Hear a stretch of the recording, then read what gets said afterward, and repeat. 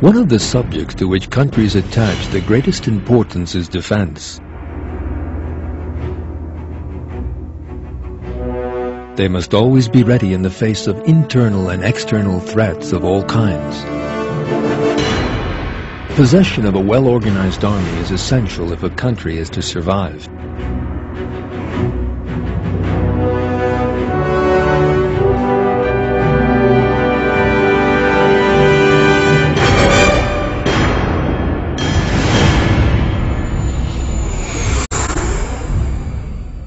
At stake is the integrity of the country.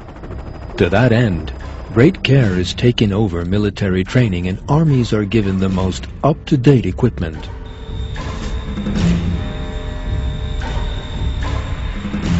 The same thing applies to human beings. Human beings also have enemies.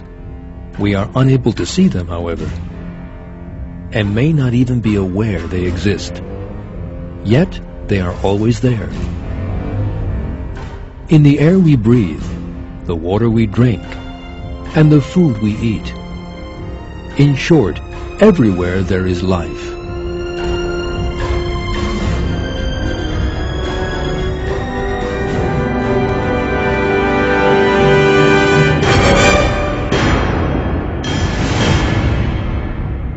From the moment we are born, we are surrounded by a cunning and aggressive foe. These are germs, bacteria, fungi, and viruses. They eat, reproduce, hunt, and are hunted. However, an army which expertly protects against all forms of external threat is constantly on guard in our bodies. Our immune system.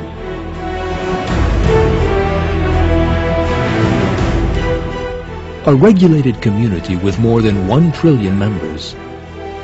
The largest, best ordered, and most disciplined army known in the universe. In this film, we shall get to know microorganisms and germs and witness the way our bodies fight against them. You will watch in amazement the way that friendly and hostile forces behave in an intelligent manner. You will also realize that the intelligence which prevails in this war and during each and every phase of it belongs to God, their Creator. And you will also understand why it is that he creates disease. Our immune system. Get to know the mighty army within you.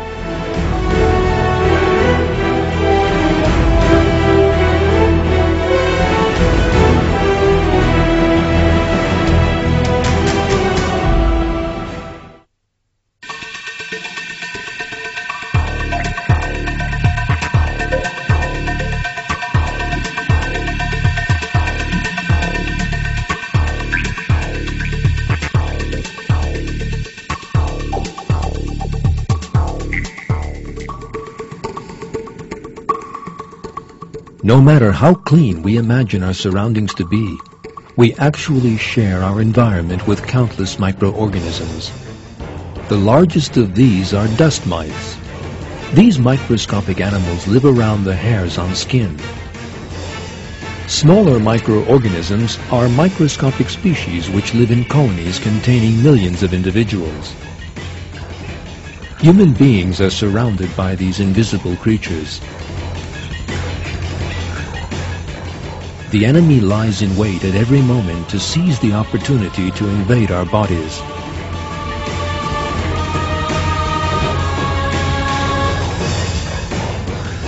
Bacteria, single-celled organisms which multiply as soon as they find a suitable environment.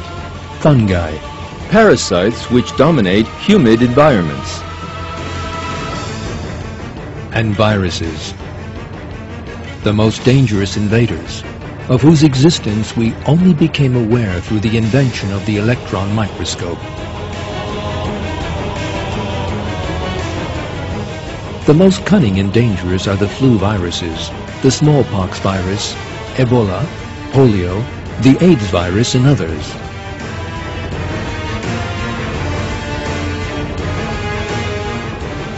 A century ago, scientists were seeking the answer to a mystery under the primitive light microscope. Cells were destroyed at an astonishing speed by an invisible enemy. The reason for that mass death of cells was a secret to scientists at that time. Until that was the invention of the electron microscope by German scientists in the 1930s.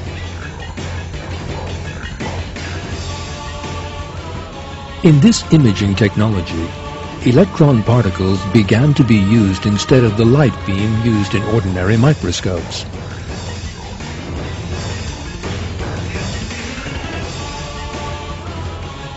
When objects were magnified 7,000 times, this extraordinary enemy could finally be seen.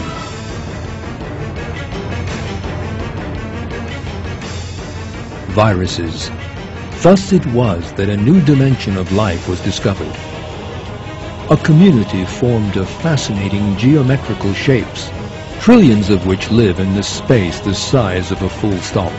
For that reason, they are regarded as the smallest form of life on Earth, because they are as small as a thousandth of a millimeter.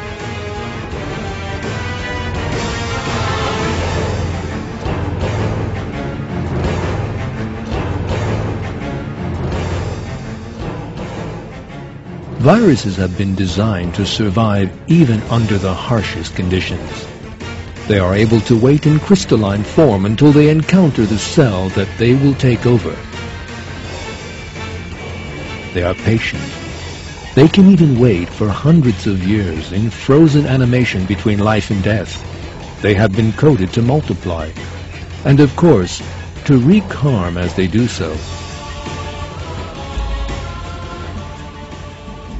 These are the detailed structures of viruses, made more intelligible with the help of modern-day computers. And the AIDS virus, in the face of which man is so powerless. Inside it is a DNA chain, carefully protected in a protein covering. The information it contains describes how new AIDS viruses are to be created in the cells it invades.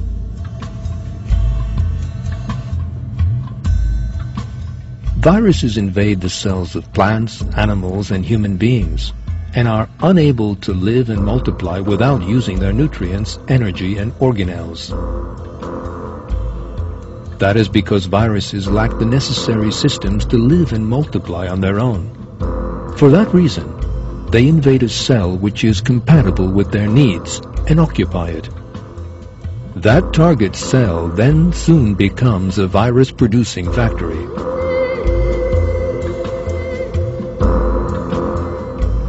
At the first stage, the virus very carefully identifies whether or not the cell is suitable for it. It checks the cell out thanks to special receptors. Later, it uses dissolving enzymes to open a hole in the cell membrane,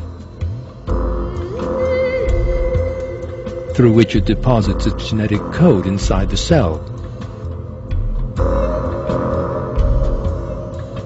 You are now watching viruses as they move into cells.